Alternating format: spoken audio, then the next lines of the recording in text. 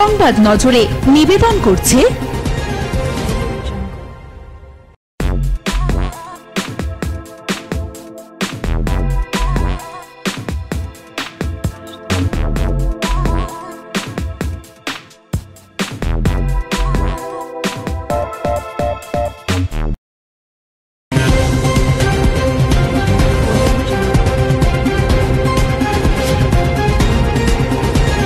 সংবাদ নজরে সোমবার সকাল সাতটা নাগাদ মালদা শহরের রবীন্দ্র অ্যাভিনিউ এলাকায় রবীন্দ্রনাথের পূর্ণবয় মূর্তিতে মাল্যদান করে শ্রদ্ধা নিবেদন করেন ইংরেজবাজার পৌরসভার চেয়ারম্যান কৃষ্ণেন্দু নারায়ণ চৌধুরী।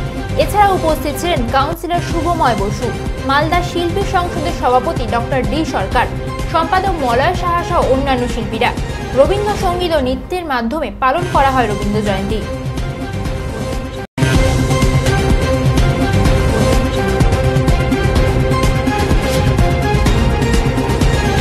সংবাদ নজরে।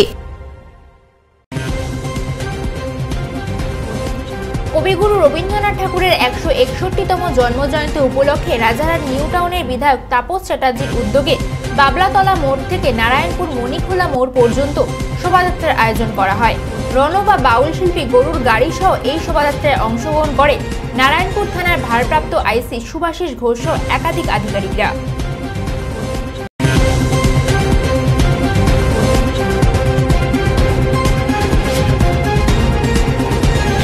সংবাদ নজরে। মানিকতলার আইডল খুঁজে নেওয়া হলো। রবিবার একই মঞ্চে দেখা গেল সুজিত বসু এবং সব্যসাচী দত্তকে। এছাড়া উপস্থিত ছিলেন চন্দ্রিমা ভট্টাচার্য, বিধায়ক পরেশ পাল, বিধায়ক নয়না বন্দ্যোপাধ্যায়, অতীন ঘোষ, এছাড়া বিভিন্ন কাউন্সিলররা মূলত শ্রেয়া পাণ্ডের উদ্যোগেই অনুষ্ঠানের নামকরণ করা হয়েছে আইডল। সেখানে পঁচিশ জন প্রতিযোগিতার মধ্যে থেকে বিভিন্ন পর্যায়ে ছজনকে বেছে নেওয়া হয়।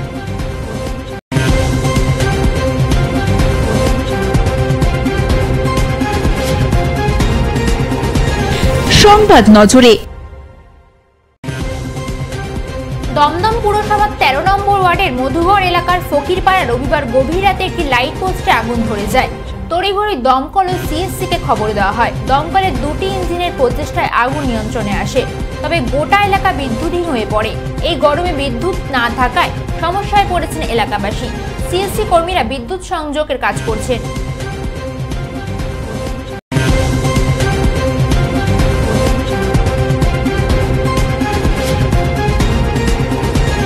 সংবাদ নজরে।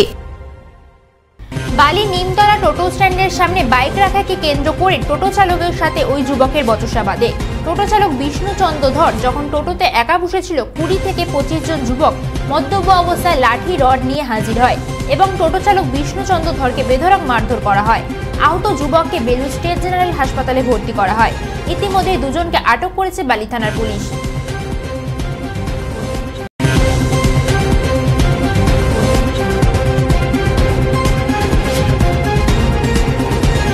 সংবাদ নজরে। সোমবার দুপুরের বিমানে ব্যাঙ্গালোর থেকে কলকাতা আসে ভারতীয় ফুটবল দল। এটিকে মোহনবাগানের সাথে একটি অনুশীলন ম্যাচ খেলবে ভারতীয় ফুটবল দল।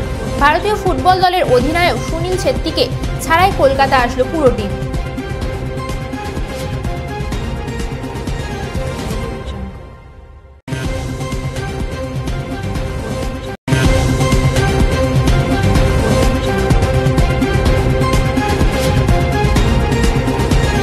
সংবাদ নজরে। ধান, পাট, আম, পটল সহ বিভিন্ন সবজি চাষের উপর জীবিকা নির্বাহ হয়। এলাকার মানুষের সঙ্গে আম চাষিদের আম পেরে নেওয়ার হিড়িক। আবহাওয়া দপ্তর সূত্রে খবর, আগামী দশ তারিখ ঘূর্ণিঝড় অশনির প্রভাব পড়তে পারে জেলা জুড়ে।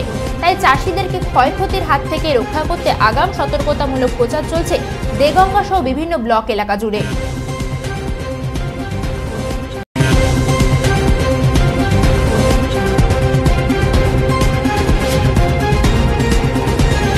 সংবাদ নজরে। প্রেম ঘটিত ব্যাপারে মানসিক অবসাদে শনিবার কলকাতা আড়িয়াতলা লঞ্চঘাট থেকে গঙ্গায় ঝাঁপ দেয় চার নম্বর কলকাতা রমেশ দত্ত লেন, গিরিশ পার্ক থানার বাসিন্দা, বছর সাতাশের মনতোষ গুপ্তা। সোমবার দুপুরে বেলুর মঠের গঙ্গার ঘাটের পাশে গঙ্গার পাড়ে ভেসে আসে মনতোষ গুপ্তার দেহ। ঘটনাস্থলে বালি থানার পুলিশ।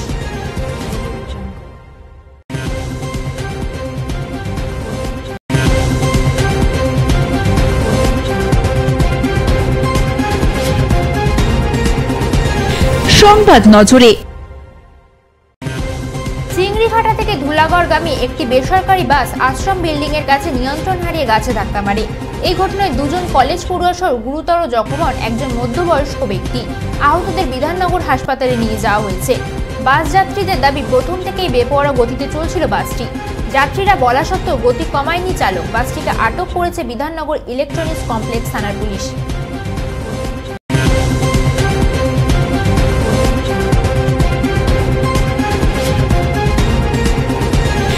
সংবাদ নজরে। ঝড় এবং বৃষ্টির পূর্বাভাস আগেই দেওয়া হয়েছিল আলিপুর আবহাওয়া দপ্তরের পক্ষ থেকে। বঙ্গোপসাগরে নিম্নচাপ সৃষ্টি হওয়াতে সোমবার সকাল থেকে ঝোড়ো ও বৃষ্টি শুরু হলো ব্যারাকপুর সহ পার্শ্ববর্তী অঞ্চলে।